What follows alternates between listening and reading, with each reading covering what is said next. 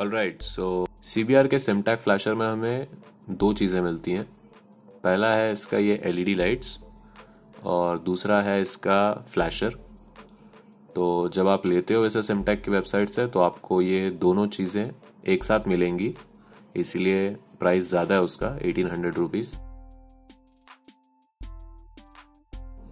बाकी बाइक्स के लिए अलग अलग लेना पड़ता है फ्लैशर और एलईडी तो ये एलईडी का पैकेट है। इसके अंदर ये ऐसे मस्त अच्छे से एकदम इन लोगों ने पैक किया हुआ है लाइट्स को। तो पैकेजिंग तो मुझे बहुत अच्छी लगी इन लोगों की।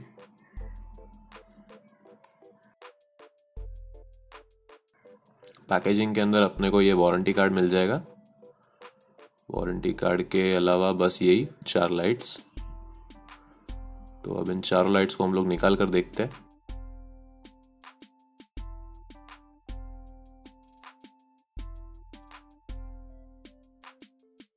तो इनको खोलना बहुत मुश्किल है। फिर भी मैंने ब्लेड से इनको काट कर ऐसे अलग किया है। और अभी इनके अंदर से निकाल लूँगा।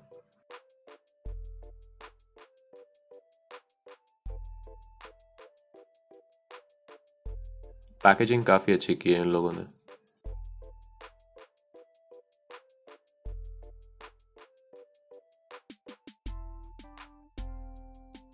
सो so, ये बल्ब है।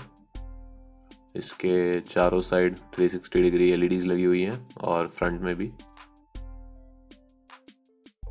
और ये इसका बैक साइड है। बैक साइड अगर आप देखोगे तो इसके जो दोनों मेटल पिन हैं ये थोड़ा ऊपर की तरफ़ है स्ट्रेट नहीं है। स्ट्रेट से थोड़े ऊपर है दोनों। तो इसको क्रॉस टाइप एलईडी बोलते हैं लोग। और सीबीआर को क्रॉस टाइप एलईडी लगती है।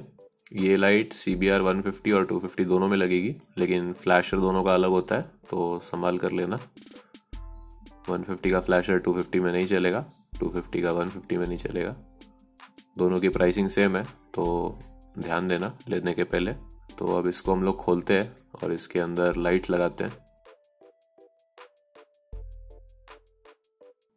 तो ये है पुराना बल्ब फिलिप्स का। ये स्टॉक आया था गाड़ी के साथ, जैसा आप देख सकते हो, उसके ऊपर जंग वंग लग गया है। तो ये भी निकाल देते हैं और एलईडी वाला लगाते हैं। देख सकते हो आपकी क्रॉस टाइप है, एकदम स्ट्रेट नहीं है। दोनों थोड़ा एक एंगल में ऐसे ऊपर है। तो ये वो बल्ब है, इसको भी लगाते हैं।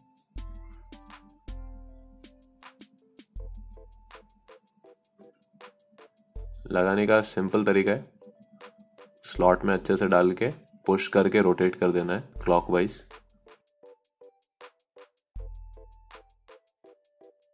और ये फिट हो गया अच्छे से एकदम कोई टेंशन नहीं।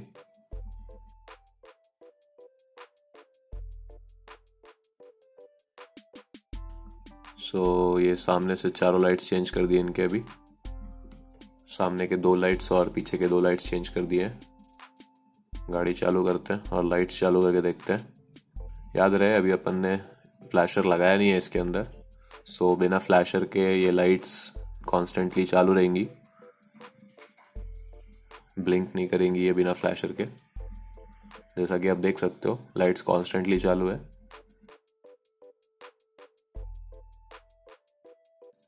सो so, इसको फिक्स करने के लिए आप फ्लैशर लगाना है। सिंपल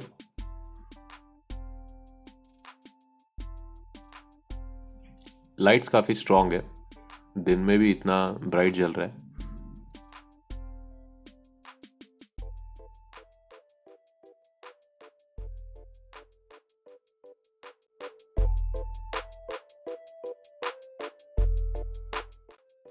सो so, फ्लैशर लगाने के लिए हम लोगों को सीबीआर का टैंक खोलना पड़ेगा। टैंक और दोनों सीट्स दोनों सीट्स खोलने के लिए यहाँ पे चार स्क्रूज होते हैं।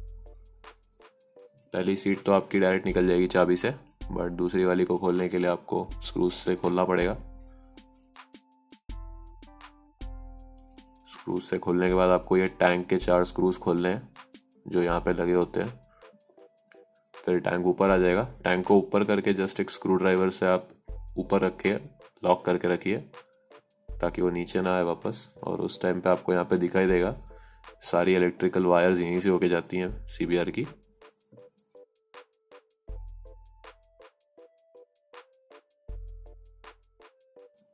और ये जो वाइट आपको दिख रहा है, ये वाइट पार्ट एक्चुअली फ्लैशर है, पुराना वाला, जो स्टॉक गाड़ी के साथ आता है।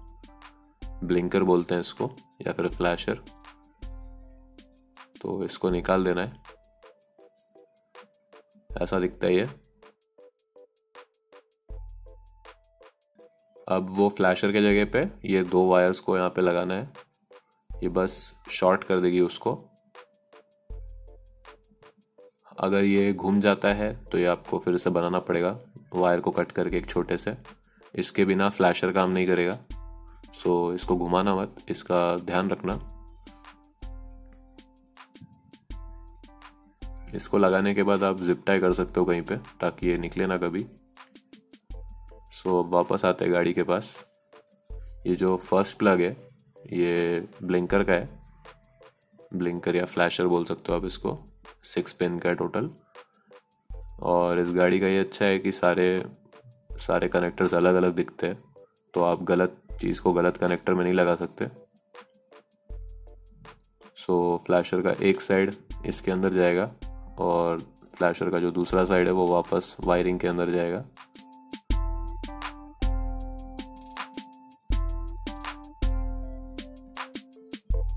और ये जो आप देख सकते हो ऐसा यहाँ से फिर इसके अंदर आ रहा है।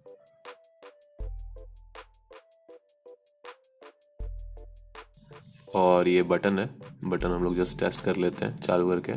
सो काम कर रहा है अच्छे से।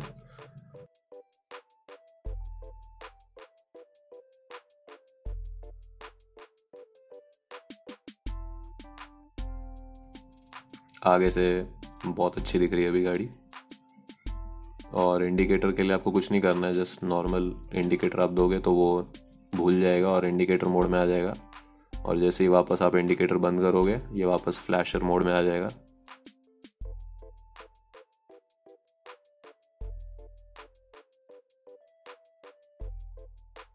सो so, अभी हम लोग सोच रहे हैं कि कहाँ पे लगाएँगे इसको।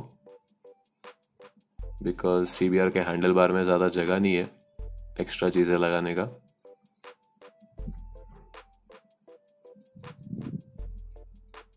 तो फ्लैशर को हम लोगों ने ऐसे छुपा दिया है अंदर की तरफ़।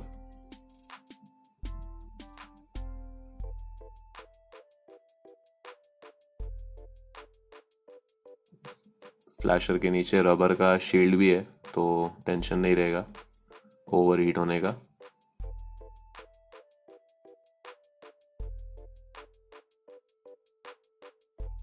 सो दैट्स इट ऐसे हम लोगों ने वो जो स्विच है उसकी वायर को भी लगा लिया है। और ऐसा राउट करके हम लोगों ने इसे इग्निशन स्विच के ऊपर वाले पार्ट में लगा दिया है। सो so, ऊपर का जो हाफ़ था उसको निकाल दिया है और स्विच का हाफ़ जो था उसको उसके साथ लगा दिया है। सो so, कनेक्ट भी अच्छे से हो गया है कोई टेंशन नहीं है।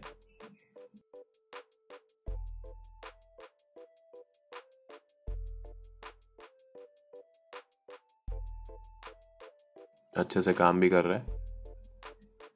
पैटर्न भी चेंज हो रहे है अच्छे से। तो हो गया। आपको सारे पार्ट्स वापस लगा देने हैं बस, और कुछ नहीं। ये रात को ऐसा दिख रहा है। लाइट्स बहुत ब्राइट है। सो पैसा वसूल चीज़ है। पैटर्न चेंज करते हैं।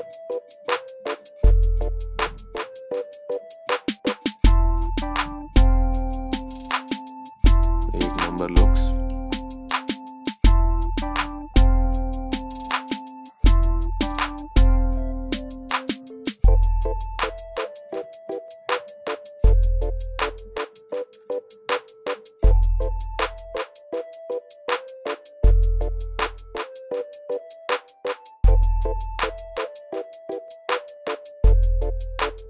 अगर आपको हमारा कंटेंट पसंद आया तो वीडियो को लाइक करिए और सब्सक्राइब करिए